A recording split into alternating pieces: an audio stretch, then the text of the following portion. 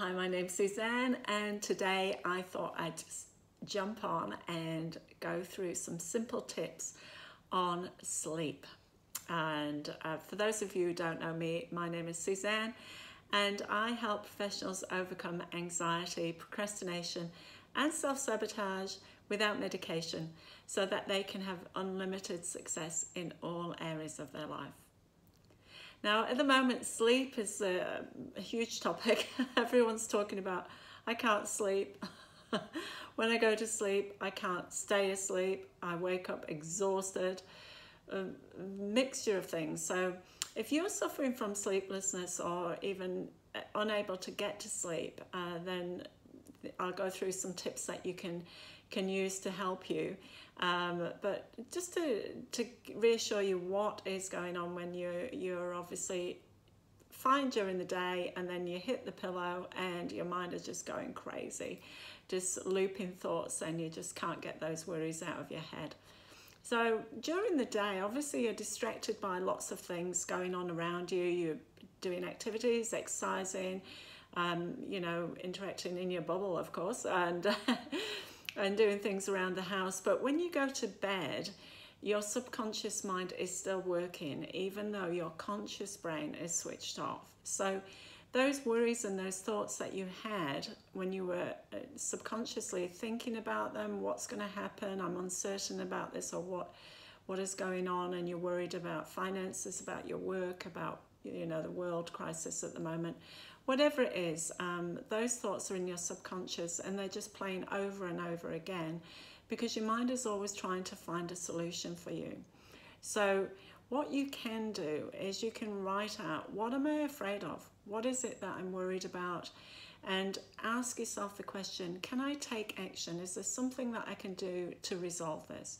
And if there is, write out what it is that you can do and take that action. So you've got your list and you make that uh, you know list and you come up with the solutions. If there is a solution now if there isn't a solution for you you can't do anything about it can't do anything about what is worrying you then you need to let it go. And you can distract yourself with good thoughts with things that you know you can control. So what you can control in your life you know reinforce those things. And praise yourself for making good progress. The other things that you can do is obviously avoid alcohol and caffeine before going to bed. So we, we all know that this triggers us. This is a stimulant, and so uh, if you can avoid those things, if you are having trouble sleep sleeping, then it will definitely help.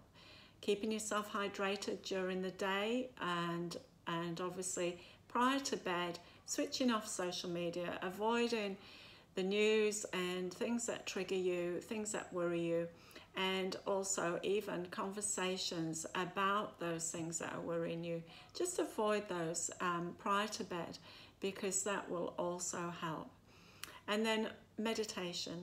Meditation is a great way to, to calm your whole nervous system down and to put you into that a nice relaxed feeling prior to bed. You can also use guided meditations that actually allow you to listen to the meditation, which might be going into a deep sleep, and you just drift off to sleep. And then, obviously, the other things you can do is breathing exercises. So, I talk about breathing a lot because it does calm your nervous system down and put you into a nice, relaxed feeling and that can help you. So if you wake up during the night, you can actually just practice your breathing even then while you're lying in your bed, taking a deep breath in to the count of four, holding for the count of four, and then releasing for the count of six. Now, if you do this for three or four breaths, you'll find that very quickly you actually start to relax and you'll drift back off to sleep. So, sleeplessness is horrible and it is debilitating because night after night, if you have prolonged sleep, then it can affect you physically the next day and start to make you feel overwhelmed and anxious as well. So, if you're curious uh, about how to overcome your anxiety or physical symptoms of your anxiety, then please feel free to contact me, book your free strategy call, and I look forward to speaking with you.